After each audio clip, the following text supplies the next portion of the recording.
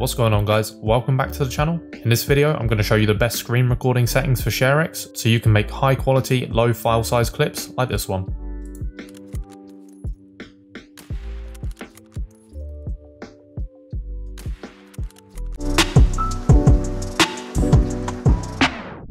Alright, let's jump into it. I'm going to be going over a few options today because I imagine a lot of you have probably clicked on this video because you want to see the best WebM settings, which is fine, but WebM is still probably one of the best lowest file size video formats you can encode in, but it's certainly not the quickest. In other words, if you're recording your clips in WebM format, it's going to take much longer to be able to share your clip with your friends and stuff. So what I'll do is I'll quickly show you the settings for that, and then we'll jump into MP4 because I think that's way better, and it's certainly much quicker. Okay, so if we open up ShareX, and then head on over to task settings, and then screen recorder, you want to make sure you've got 60 FPS, and the only other option is uh, record using lossless encoding. And then we're going to head into screen recording options. And then at the top here, you should have this all selected. For video source, you're going to want to select screen capture recorder and same with the audio. And if you don't have these two, then you can just click here, install recorder devices, and then you'll be able to select them in the list.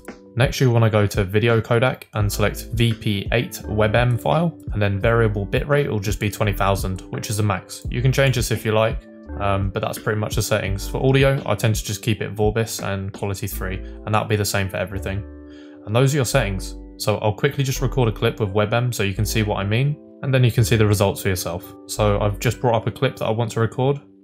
I'm going to select the region that I'm going to record and then just quickly hit play. So we're going to record for about 8 seconds or so.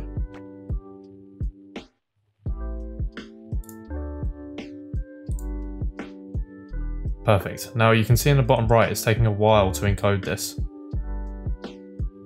Nearly done. There we go.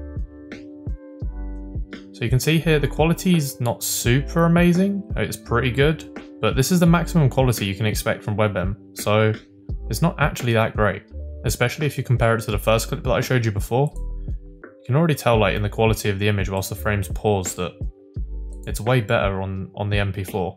So in terms of file size, let's just have a look.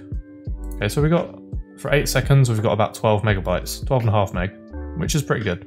Now let's set up some MP4 recording. So back into ShareX, task settings, screen recorder options, and now in the list we're going to select NVENC, H264 NVENC. Now, this only applies to a certain group of NVIDIA users. NVENC was introduced in uh, 2012, I believe. Uh, if you're not sure um, when you got your card, you can just Google it and see um, if it's got an NVENC encoder in it. It should be pretty quick to find out. So once you've got that selected, we want to select a preset. So we're going to go with slow, high quality two passes. And in bitrate, you can set this to anything you like. I'm just going to keep mine at 13,500 because I want to keep the low file size. But honestly, you can turn this quality up as much as you want. So if we X out of this again, and we're going to take another recording from our clip. And here we go. Just keeping an eye on the time at the bottom here. Going to record about 8 seconds worth. There we go. Instant. That's already been uploaded. So you can see here as I flick through some of the frames, the quality is not quite perfect and that's okay because I've got the bitrate turned all the way down pretty much. But if we have a look at the file size, you can see that it's 14,000 and the clip encoded basically instantly and was uploaded straight away. Now for those of you that don't have an Nvidia graphics card or an NVENC encoder, I'm going to show you one last option, which is just as good as this, if not better, but it will take a second or two longer to encode. So just bear that in mind. Okay, so jumping back into ShareX again, task settings, screen recorder, recording options. Instead of NVENC now, we're just going to select H264 and then X264 at the top. That'll use your CPU. Now I've already got my settings in, uh, so preset you want to go for slow. Uh, now basically what this does, you can mess around with this if you want, but um, I found that slow is a good balance between speed and file size. So if we just hover over this, faster preset means faster encoding but higher file sizes. Lower preset means slower encoding but lower file size. So we're going to have this on fairly slow. And if we hover over CRF, um, it basically is a variable bitrate which fluctuates uh, depending on what's on screen. So I'm going to leave it at a fairly balanced option of 22, which should give us a pretty good video quality. And then the preset is what's going to keep our file sizes lower. So let's jump out of this and record another clip. So I found the bit I want to record at. I'm just going to start now. Let this record for about 8 seconds or so. Stop. See it's encoding in the bottom right.